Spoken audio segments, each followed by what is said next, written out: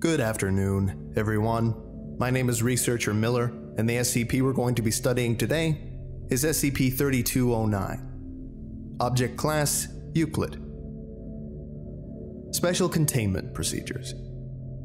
Personnel interacting with populations of SCP 3209 are to wear liquid crystal active shutter glasses operating at or above 60 Hz. Wild specimens of SCP 3209 are to be captured and relocated to an on site Lepidopterarium. Monasteries keeping SCP 3209 populations are to be closely monitored for specimens escaping into the wild. Description SCP 3209, Sevenia acedia, is an anomalous species of butterfly which preys upon interest. An SCP 3209 specimen feeds by perching on the nose of its target and rapidly fluttering its wings in front of their eyes. Affected animals become lethargic and unmotivated, eventually dying of starvation. Sapient beings exhibit a more complex set of symptoms when exposed to SCP 3209. The primary effect is permanent loss of interest in a hobby or topic. Examples of interests lost due to SCP 3209 include card games, poetry, science fiction films, and golf. Frequent exposure to SCP 3209 causes chronic anhedonia and apathy. As most of the symptoms of exposure are nearly indistinguishable from dysthymia, Attempts to locate wild populations of Sevenia acedia have primarily focused on tracking down reports of rainbow winged butterflies. In severe cases, individuals continuously exposed to SCP 3209 may be identified among patients in psychiatric care facilities. Such patients typically have no prior history or behavioral incidents, live outside of cities, and are hospitalized following suicide attempts which failed due to their lack of motivation. Addendum 3209.1 Field Reports of Agent Bartell. The Ethics Committee has indefinitely postponed actions against monasteries in and around Nepal, an unknown number of which may be maintaining populations of Sevenia acedia in secret. Internal discussions center around the testimony of Field Agent Aaron Bartell, who is assigned to identify and investigate monasteries involved. February 11th, 2018. Might have a lead, an ex monk in Panauti with severely disabling apathy. Can't even get out of bed. Probably a straightforward case of depression, but his nickname caught my eye. Apparently, people call him the Butterfly Man. February 16th, 2018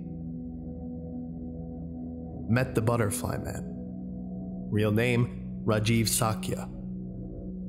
Couldn't get a statement from him. He had no interest in conversing. As far as I can tell, he has no interest in anything. Borderline vegetative. I did obtain the name of his former monastery from one of the neighbors taking care of him Tergar Gompa, located in a valley a few kilometers east of here. Hoping this doesn't turn out to be one more dead end. I haven't been home in, what, four months? February 18th, 2018. Tergar Gompa is beautiful. It's surrounded by Persian silk trees, the ones studded with pink flowers. The monastery itself is an arrangement of pale stone buildings around a courtyard. The buildings are connected by colonnades painted in rich hues, mostly red and gold. At a guess, I'd say the place is three or four centuries old. And to think I almost took a desk job. February 19th, 2018. The monks weren't thrilled about my liquid crystal glasses. Cameras are banned here. Not sure whether due to religious beliefs or more practical concerns. They spent a few minutes looking over the glasses before returning them. Conveniently, they didn't bother to inspect my books, which contain a small arsenal of surveillance equipment. I don't think they were feigning ignorance about the glasses. If they're not using active shuttering, how are they protecting themselves? February 20th, 2018. Blindfolds. I've only caught a few glimpses of blindfolded monks, but I'm sure of it. Somehow they're doing all the work caring for these butterflies by sound and touch alone. The caretakers might not even know what they're dealing with. I've been watching out for any monks behaving unusually, but nothing so far. Whatever SCP 3209 is being used for, it must be pretty limited. There might be only a handful of monks here aware of its effects. February 21st, 2018. First sighting of Sevenia acedia. Not hard to find. They're kept in a small glass roofed conservatory built against the southern wall. Fairly small population from what I could see. Maybe three dozen or so. Hid some cameras in a few nearby bushes to keep an eye on things. Next morning, four men with blindfolds visited the conservatory. I want it on record that I have never been wrong about anything. Ever. February 23rd, 2018. Inadvertently exposed myself to SCP 3209. Woke up, opened my eyes, and the little fucker was perched right on my nose. The shimmer in its wings got me before I could look away. When I regained focus, it was gone. Must have zipped right out of there as soon as it was full. From now on, we'll wear glasses to bed. Need to figure out how it got in my room. Maybe they'd have me throw it out if the butterfly returned hungry. Maybe I'm after any excuse to frame my mistake as a good thing. I keep getting distracted trying to figure out what it took from me. Reviewing all my hobbies, these are a few of my favorite things, etc. What's missing? What don't I care about anymore? February 24th, 2018. Just notice the carpets in the prayer hall. They're full of butterflies. Every single pattern, every border design. The monks here meditate on their knees with their heads bowed. The whole time they're staring at butterflies. I've been looking at this place all wrong. Forest for the trees. I haven't seen any out of place behavior because this whole place is about SCP 3209. They're all in on it. February 26th, 2018. I was right. Late, late last night, the Sevenia Acedia were transferred in a box from the conservatory to the prayer hall. All of the monks gathered inside the hall. No guests allowed. My cameras couldn't get a clear visual due to poor lighting. There was only a dim, flickering glow cast by floating candles in frosted glass bowls. Audio came through just fine, though. Each monk recited a different phrase over and over. Quote, longing for my childhood home. Quote, world politics. Quote, the cuteness of dogs. Quote, show tunes for getting stuck in my head. It was like a confessional. The ritual lasted roughly half an hour. When it was over, they returned the butterflies to the conservatory and went to bed. February 28th, 2018. I've been thinking a lot these past few days, reflecting. Everything about this place encourages it.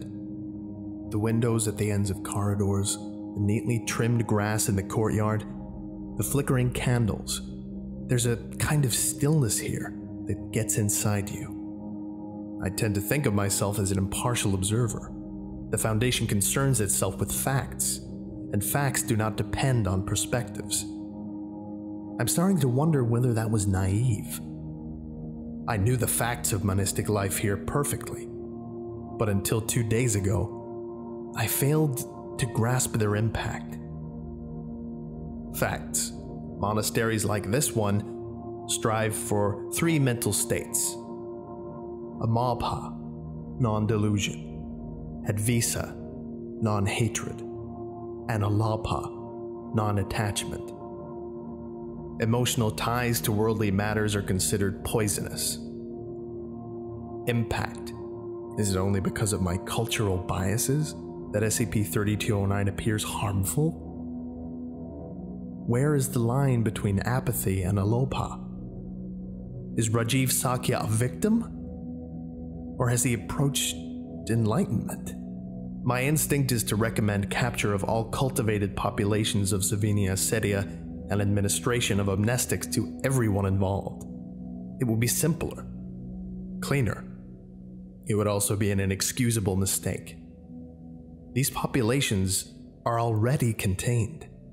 They pose no threat to civilians. We have no justification to destroy centuries of tradition and history that have developed at monasteries like Tergar Gompa. If we erase every part of human culture capable of harm, will anything be left? March 5th, 2018. Got home today. I'm still adjusting to how much warmer it is here. My son was so excited to have me back. He's been making all these little finger paintings. I didn't care about them. I didn't care about anything he said or did. I've always been overjoyed to see him after a long trip. No matter how hard I try, I cannot find that feeling now. My son is only four years old, and I've lost interest in him. That's what SCP 3209 took from me. I stand by my previous statements.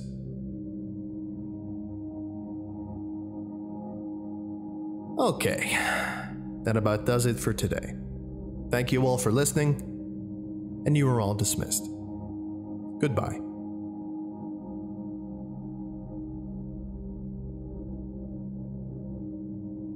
I would like to give a special thank you to Andre Bichert, Desmond Haskins, and Getsaberry. Thank you all very much for your support. It's greatly appreciated. If you would like a special thank you at the end of each of my videos, and some other cool stuff as well, go to patreon.com forward slash the Volgun. Thank you.